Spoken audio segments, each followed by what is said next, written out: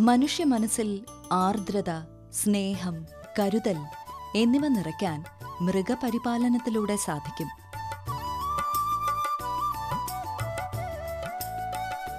പശുക്കളെ ഒരു കാലത്ത് മലയാളിയുടെ ആഠ്യത്വത്തിന്റെയും പ്രതാപത്തിന്റെയും ഐശ്വര്യത്തിന്റെയും പ്രതീകമായി കണക്കാക്കിയിരുന്നു. എന്നാൽ മാറിവന്ന ജീവിത സാഹചര്യങ്ങളും കാലാവസ്ഥയുമൊക്കെ കന്നുകാലി വളർത്തലിനെ പ്രതികൂലമായി ബാധിച്ചു.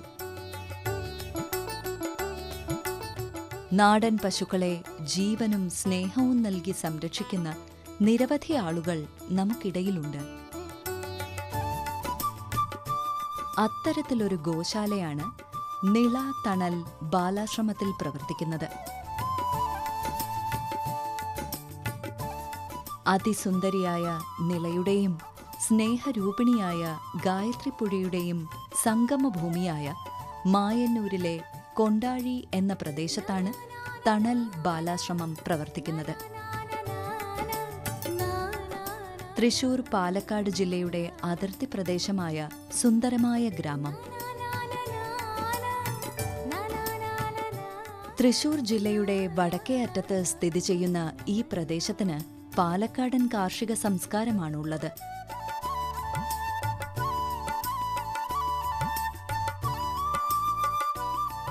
ഓർഫനേജ് കൺട്രോൾ ബോർഡിന്റെ ആയിരത്തി മുന്നൂറ്റി മുപ്പത്തിയൊന്നാം നമ്പർ അംഗീകാരത്തോടെ രണ്ടായിരത്തി രണ്ട് ജൂൺ പത്തൊൻപത് മുതൽ പ്രവർത്തിക്കുന്ന ഈ ബാലാശ്രമത്തിന്റെ കാർഷിക സമൃദ്ധിയിലേക്കാണ് ഇന്നത്തെ യാത്ര. കാളിയന്റെ നെറുകയിൽ ചിരിച്ചുകൊണ്ട് നിൽക്കുന്ന കുഞ്ഞിക്കണ്ണനാണ് ഇവിടുത്തെ കുരുന്നുകൾക്കും ഗോക്കൾക്കും ആവേശം പകരുന്നത് എന്നാണ് ഇവർ പറയുന്നത്. കലാസേവാ സമിതി എന്ന ചാരിറ്റബിൾ സൊസൈറ്റിയുടെ കീഴിൽ തണൽ ബാലാശ്രമം തണൽ ശിശുമന്ദിരം തണൽ Mathrusadanam Thanal domestic violence shelter home pain and palliative അങ്ങനെ നിരവധി പ്രവർത്തനങ്ങൾ നടക്കുന്നുണ്ട്. കഴിഞ്ഞ അഞ്ച് വർഷമായിട്ട് നിരവധി കാർഷിക പ്രവർത്തനങ്ങൾ ഇവിടുത്തെ കുട്ടികളും അമ്മമാരെയും ഉൾപ്പെടുത്തിക്കൊണ്ട് ഏകദേശം നാല് ഏക്കറോളം സ്ഥലത്ത് നമുക്ക് വേണ്ട പച്ചക്കറി വാഴ ചേന ഇഞ്ചി മഞ്ഞൾ എന്നീ സാധനങ്ങൾ എന്നീ സാധനങ്ങൾ നമ്മൾ വളർത്തിയെടുക്കുന്നുണ്ട്. അതിൽ സ്ഥിരമായിട്ട് ജോലി ചെയ്യുന്നവരുമുണ്ട്. ഇവിടുത്തെ മുതിർന്ന കുട്ടികളും അതുപോലെ ചേച്ചിമാരും അമ്മമാരുടെയും സാന്നിധ്യം വളരെയധികമുണ്ട്. അതുപോലെ തന്നെ അറുപതോളം നാടൻ പശുക്കളെ വളർത്തുന്ന ഒരു ഗോശാലയുണ്ട്. ആ ഗോശാല ഗോക്കൾക്ക് വേണ്ടിയിട്ടുള്ള പുല്ലും നമ്മളിവിടെ കൃഷി ചെയ്യുന്നുണ്ട്. ഏകദേശം രണ്ടേക്കറോളം സ്ഥലത്ത് നമ്മൾ പുൽകൃഷി നടത്തുന്നുണ്ട്. അത് ഇവിടുത്തെ ഗോക്കൾക്ക് വേണ്ടി ഉപയോഗിക്കും. ആ ഗോക്കളുടെ പാൽ കുട്ടികൾക്കും അമ്മമാർക്കും ഉപയോഗിക്കാൻ പാലായാലും മോരായാലും അത് കറി വെച്ചും പനീർ പോലെയുള്ള സാധനങ്ങൾ ഉണ്ടാക്കി അതിന്റെ നെയ്യ് ശേഖരിച്ച് ചെറിയ കുട്ടികൾക്ക് കൊടുക്കുക. ഈ കാര്യങ്ങളും ഇവിടെ നടക്കുന്നു. ഗോകുലം ഗോശാല എന്ന വിളിപ്പേരുള്ള ഈ ഗോശാലയിൽ ഏകദേശം അറുപതിന് മുകളിൽ നാടൻ പശുക്കളെയാണ് സംരക്ഷിച്ചു വരുന്നത്. പ്രാദേശിക വൈവിധ്യമുള്ള തനി നാടൻ ഇനങ്ങളാണ് ഇവിടെയുള്ളത് നാടൻ പശുക്കളിൽ ഏറ്റവും ജനകീയനായ വെച്ചൂർ പശു കേരളത്തിലെ തനത് നാടൻ ജനുസുകളിൽ പ്രധാനിയായ കാസർഗോഡ് കുള്ളൻ വില്ലുവാദ്രി പശുക്കൾ ഹരിയാനയിലെ സുന്ദരിയായ ഗീർ പശു തുടങ്ങിയ ഇനങ്ങളാണ് ഈ ഗോശാലയിലുള്ളത്. നാടൻ പശുക്കളുടെ ഏറ്റവും ശ്രദ്ധേയമായ ഗുണങ്ങളിലൊന്നാണ് വൈവിധ്യമാർന്ന ചുറ്റുപാടുകളിൽ വളരാനുള്ള അവയുടെ കഴിവ്. പ്രാദേശിക രോഗങ്ങളോടും കാലാവസ്ഥാ വ്യതിയാനങ്ങളോടും ഉയർന്ന പ്രതിരോധശേഷി ഇവ പ്രകടിപ്പിക്കുന്നു.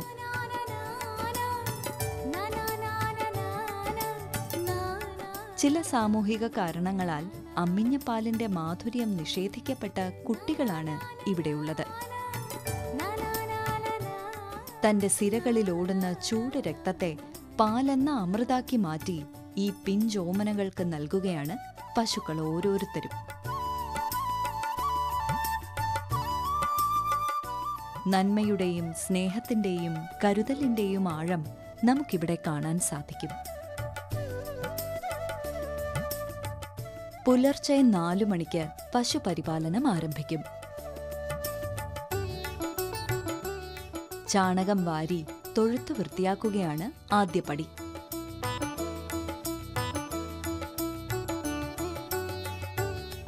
രോഗപ്രതിരോധശേഷി കൂടുതലുള്ള ഇനങ്ങളായതിനാൽ ഇവയെ നിത്യവും കുളിപ്പിക്കുന്നത് നല്ലതാണെന്നാണ് ഇവരുടെ വാദം.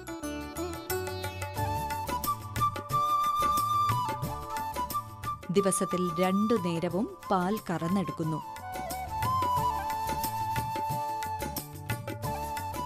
ഈ പാൽ പാലായും തൈരായും ഇവിടുത്തെ കുഞ്ഞുങ്ങൾക്ക് നൽകുകയാണ് ചെയ്യുന്നത്.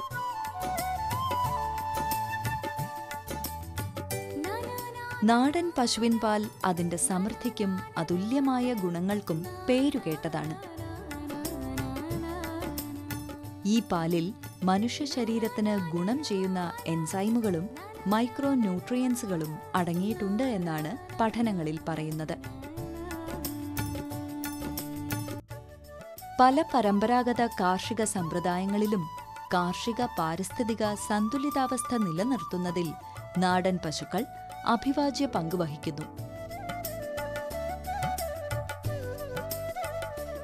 ചാണകവും ഗോമൂത്രവും ഒക്കെ മണ്ണിനെ സമ്പുഷ്ടമാക്കുന്ന കാഴ്ച നമുക്കിവിടെ കാണാൻ സാധിക്കും.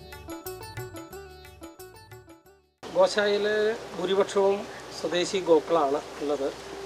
ഗീർ ഇനത്തിലുള്ള പശുക്കളുണ്ട് വെച്ചൂരി പശുക്കളുണ്ട് അതുപോലെ തന്നെ മലനാടൻ ഗിഡ കാസർഗോഡ് ഡാർക്ക് വില്ലുവാതിരി തുടങ്ങിയ ആറോ ഏഴോ തരത്തിലുള്ള ബ്രീഡുകൾ പശുക്കളുണ്ട്. കാലത്ത് നാല് മണി മുതൽ ഗോശാല പ്രവർത്തിച്ചു തുടങ്ങും. രണ്ട് പേരാണ് ഇരുപത്തിനാല് മണിക്കൂറും ഈ കാര്യങ്ങൾ ശ്രദ്ധിക്കുന്നത്.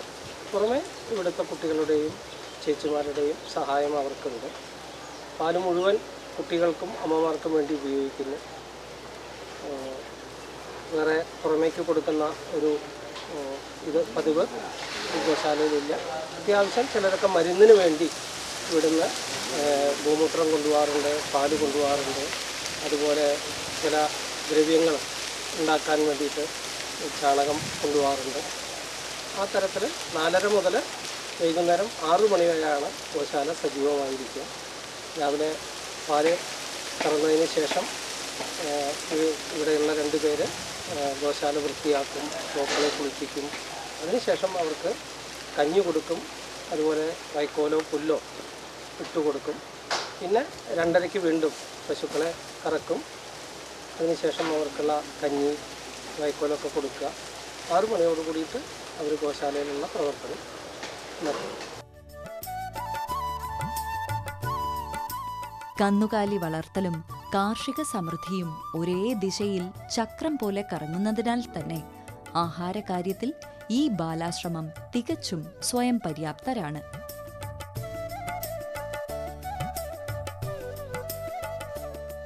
തങ്ങളുടെ മക്കൾക്ക് നല്ലതുമാത്രം നൽകാൻ പരമാവധി ശ്രമിക്കുകയാണ് ഇവിടെ.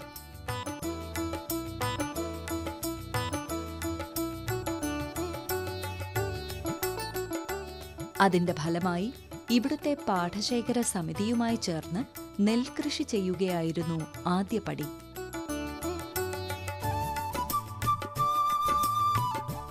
ഇതിലൂടെ ആശ്രമത്തിനാവശ്യമായ നെല്ലുൽപ്പാദിപ്പിക്കാനും പശുക്കൾക്കാവശ്യമായ വൈക്കോൽ ലഭിക്കാനും സഹായിക്കുന്നു.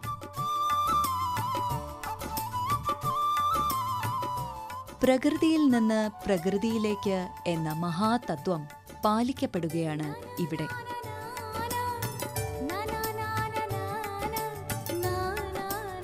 വേനൽക്കാലത്താണ് കൊയ്ത്ത് നടക്കുന്നത്.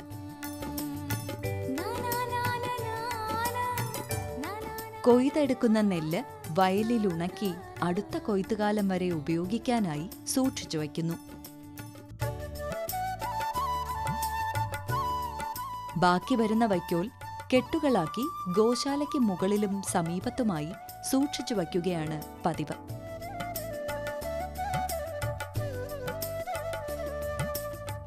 ഈ കടുത്ത വേനലിനു പിന്നാലെ വരുന്ന മഴക്കാലത്തേക്കുള്ള ഒരമ്മയുടെ കരുതൽ പോലെയാണ് ഇവിടെ കൃഷികാര്യങ്ങൾ നടക്കുന്നത്. പശുക്കൾക്ക് വൈക്കോലിനൊപ്പം നൽകുന്നതിനായി സിഒ ത്രീ സിഒ ഫോർ ഇനത്തിൽപ്പെട്ട പുല്ലുകളും വളർത്തിവരുന്നു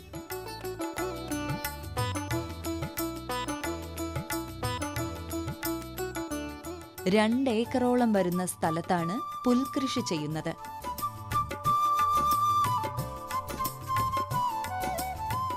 ആശ്രമത്തിലേക്ക് ആവശ്യമായ എല്ലാവിധ പച്ചക്കറികളും ഇവിടെ തന്നെ കൃഷി ചെയ്ത് വിളവെടുക്കുകയാണ് ചെയ്യുന്നത്.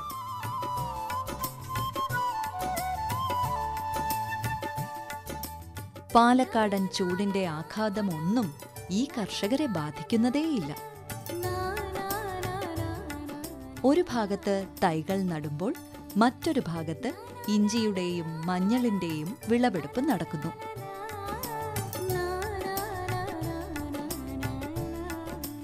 നാടൻ ഇഞ്ചിയും പ്രതിഭ ഇനത്തിലുള്ള മഞ്ഞളുമാണ് വിളവെടുക്കുന്നത്. നമ്മുടെ ബാലാശ്രമത്തിലെ കുട്ടികൾ എല്ലാവരും ചെയ്യുന്ന കൃഷികളാണ് പച്ചക്കറി കൃഷികൾ. അധികമായിട്ട് നമ്മൾ ചെയ്യുന്നത് വെണ്ട പാടവലം അതുപോലെ തന്നെ കുമ്പളൻ മത്തൻ ചീര വാഴക്കൃഷി എന്നിവയാണ്. എല്ലാ കാര്യങ്ങളും കുട്ടികൾ തന്നെ സഹകരിച്ചുകൊണ്ട് ചെയ്യുന്നുണ്ട്. കരിവും മൂത്രമൊഴിക്കലായാലും ശരി നമ്മുടെ വളങ്ങളിടലായാലും ശരി വിത്തുകൾ മാറ്റി നടലും ആ, അതിന്റെ കുടി വലിക്കലും എല്ലാം വിത്തുകൾ തന്നെയാണ് ചെയ്യുന്നത്.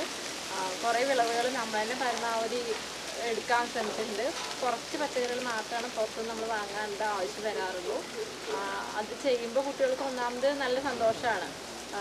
ഒരു സ്കൂൾ വിട്ടതിന് ശേഷം എല്ലാവരും പാടത്തേക്ക് പോവുക കാര്യങ്ങൾ ചെയ്യുക അതൊക്കെ കഴിഞ്ഞ് ഭജനയൊക്കെ ആകുമ്പോഴേക്കും മെല്ലെ വന്ന് കുടിക്കലും കാണിക്കലൊക്കെ കഴിഞ്ഞ് നല്ല കയറാവുന്ന രീതിയിൽ അപ്പോൾ ഞങ്ങൾ പഠിപ്പിക്കുന്നതൊക്കെ ഈ കൃഷിയും കാര്യങ്ങളും പച്ചക്കറി അതിനോടൊക്കെ വർത്താനം ഒരു വേഗം വളരും എന്നതാണ്. അതന്നെ എനിക്ക് തോന്നിയിരിക്കുന്നു. കുട്ടികൾക്കും സന്തോഷമാണ് ആ സസ്യങ്ങൾക്കും വേഗം വളർച്ചയും കാര്യങ്ങളും അവർ ഫലപുഷ്ടമായ ഭക്ഷണങ്ങൾ ഞങ്ങൾക്ക് തരുന്നു എന്ന് ഞങ്ങൾ വിശ്വസിച്ചു വരുന്നു. ഇത്രയും കാര്യങ്ങളൊക്കെ നമ്മൾ കുട്ടികൾക്ക് ഇവിടെ ചെയ്യുന്നുണ്ട്. ഭാരതപ്പുഴയുടെ കൈവഴിയിലൂടെ ഒഴുകിയെത്തുന്ന ചെറിയ കനാലാണ് വർഷം മുഴുവൻ കൃഷി ചെയ്യാൻ ഇവരെ സഹായിക്കുന്നത്. വെയിലിന്റെ കാഠിന്യം വകവയ്ക്കാതെ കുട്ടകളിൽ ചാണകം നിറച്ച് തലച്ചുമടായി പാടത്തേക്ക് പോവുകയും വരികയും ചെയ്യുന്ന സ്ത്രീ കർഷക തൊഴിലാളികൾ തനത് ഗ്രാമീണ സൗന്ദര്യം വിളിച്ചോതുന്നു.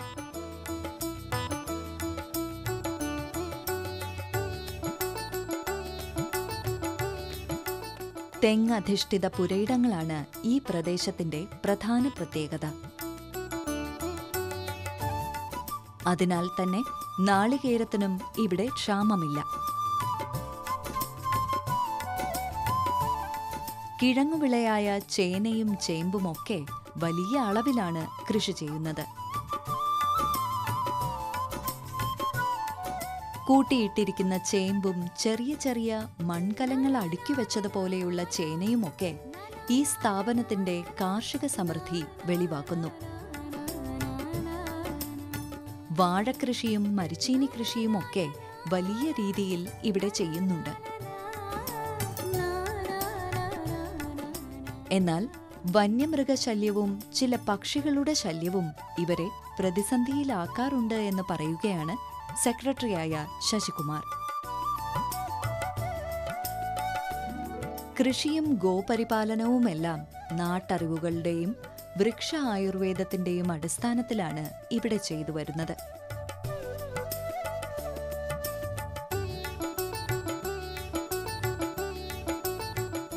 കൃഷിയും മീൻ വളർത്തലും ബന്ധപ്പെട്ട് കിടക്കുന്നുവെന്ന് നമുക്ക് ഏവർക്കും അറിയാം.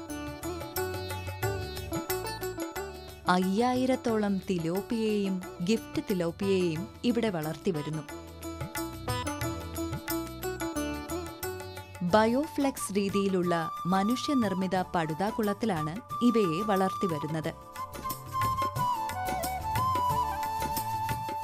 മീനിന്റെ വിസർജ്യമടങ്ങുന്ന വെള്ളം ഓസ് ഉപയോഗിച്ച് കൃഷിയിടങ്ങളിലേക്ക് എത്തിക്കുന്നു. പ്രകൃതിദത്തമായ വളങ്ങൾ ലഭിക്കുന്നതിനാൽ പച്ചക്കറികൾ കൂടുതൽ വിളവും തരുന്നു.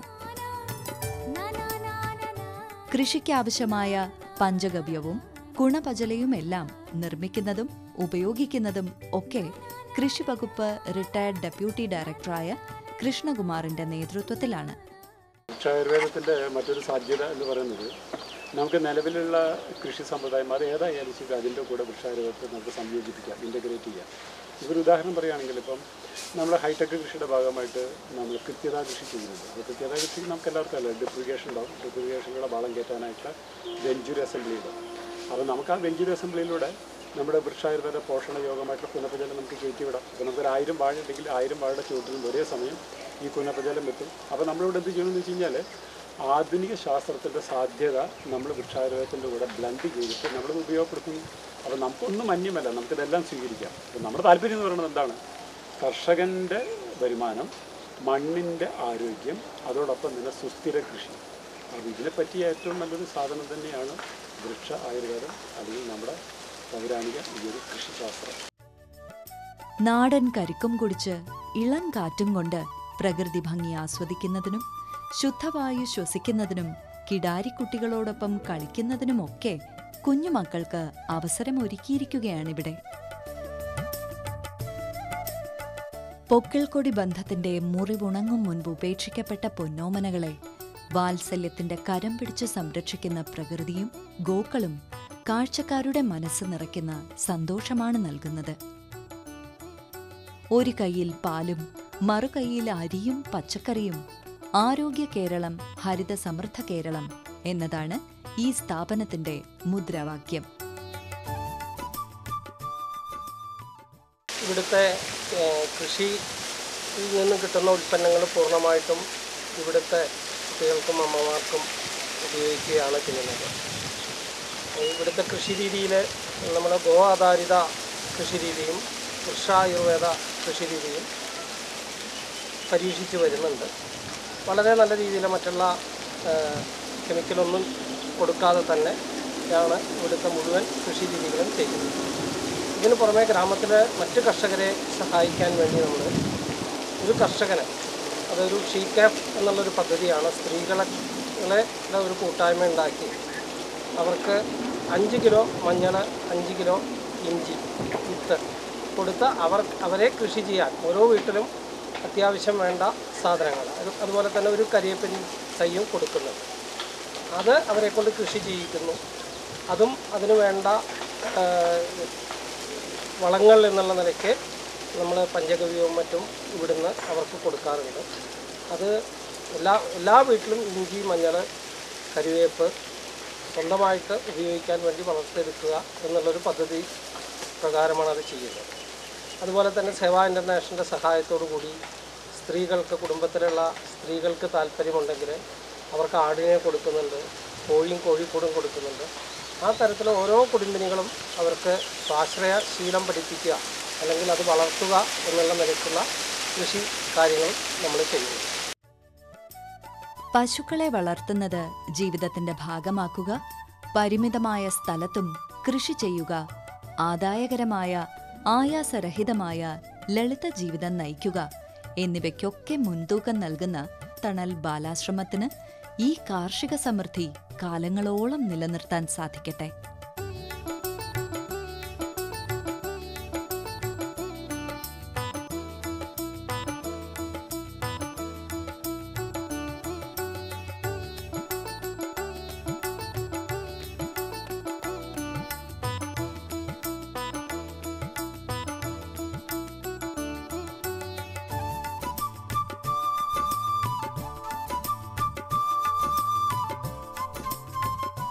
കൃഷി ദർശൻ പരിപാടിയെക്കുറിച്ചുള്ള നിങ്ങളുടെ അഭിപ്രായങ്ങളും നിർദ്ദേശങ്ങളും ഞങ്ങളെ അറിയിക്കുക.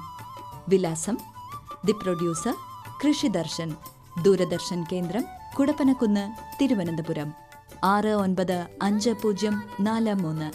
ഫോൺ പൂജ്യം നാല് ഏഴ് ഒന്ന് രണ്ട് ഏഴ് മൂന്ന് ഒന്ന് എട്ട് ഏഴ് പൂജ്യം. ഇമെയിൽ ഡി ഡി കൃഷി T V M at Gmail dot com